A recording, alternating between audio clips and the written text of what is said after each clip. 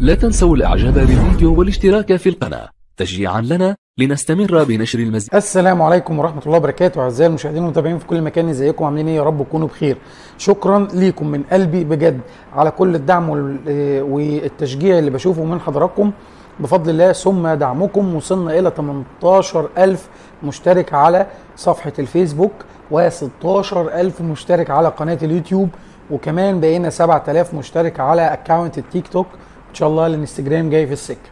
شكرا جدا بجد من كل قلبي على دعمكم وإرشاداتكم ليا لتطوير المحتوى اللي أنا بقدمه. المهم يا سيدي طبعا أنتوا عارفين إن أنا في الواحات البحرية وبلف على الأشجار اللي إحنا زرعناها أشجار المهوجن الأفريقي علشان نوري لحضراتكم مدى مصداقية اللي إحنا بنعمله وكمان نوضح لحضراتكم إن إحنا ما بنوردش شتلات بس إحنا بنتابع وبنشرف وسواء كنت موجود في أرضك ولا مش موجود زي الفيديو اللي فات بتاع الحاج الجمعه اللي أنا مش عارف أوصله لحد وقتنا هذا. وبفضل الله بسبب الفيديو اللي فات اللي هتلاقوه موجود تحت في صندوق الوصف إيه ناس كتيرة تواصلت معايا من الواحات اللي زارعين شجر ومش عارفين نوصل لبعضينا. وإن شاء الله بإذن الله هنبدأ رحلة كويسة جدا خلال أسبوع. مش هنسيب حد في الواحات البحرية زارع أشجار المهوجن الأفريقي غير لما نروح له ونصور من عنده ونوريكم سواء كان في مشاكل أو ما فيش.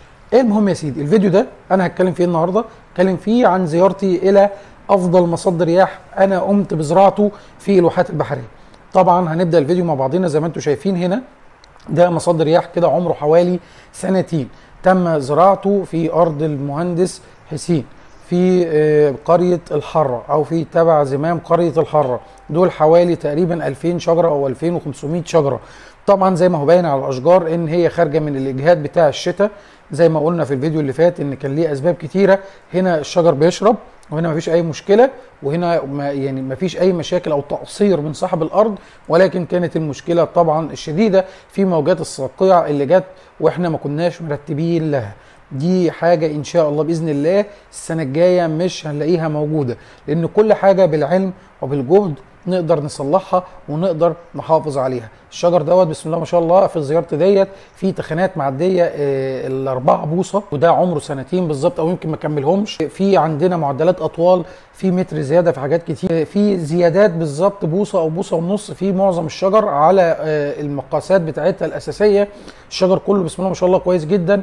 بدأ يخضر تاني مطلع نموات جديدة سواء من القمة النامية أو من أسفل الساق. وده كله بيثبت لينا إن أرض الواحات البحرية من الأراضي الممتازة جدا في زراعة أشجار المهوجن الأفريقي وكمان المناخ. ولكن طبعا زي ما أنتم عارفين وزي ما أنتم شايفين معايا في الفيديو هنا القصة الصقيع اللي جت وكانش مرتب ليها خالص. فإن شاء الله بإذن الله إحنا بنتابع مع العملاء بتوعنا علشان نقدر نوصل لأحسن نتيجة ونقدر نوصل إلى أفضل جودة ممكنة بإذن الله.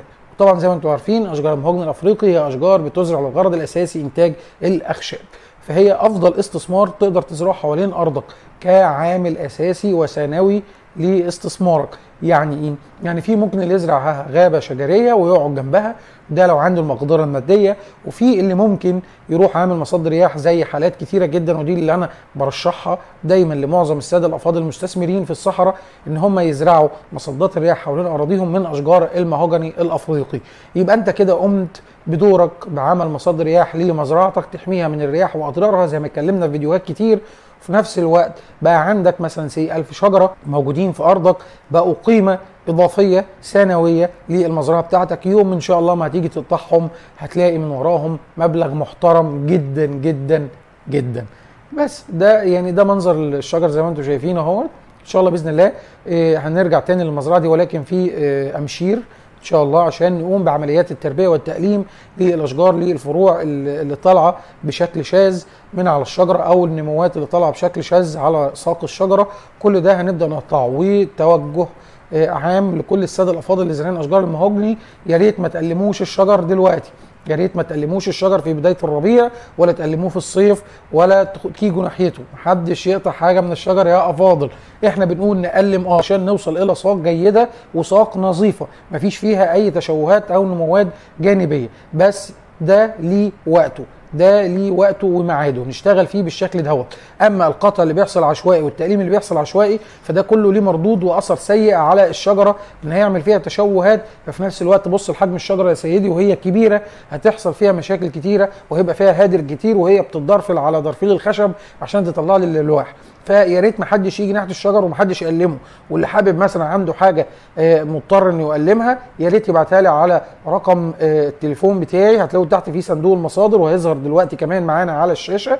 ابعت يا باشا على الواتساب أي حاجة أنت عايزها هنبص عليها. ولو في إمكانية إن أنا هجيلك أكيد هجيلك السادة مزارعي المهوجني في الوادي الجديد.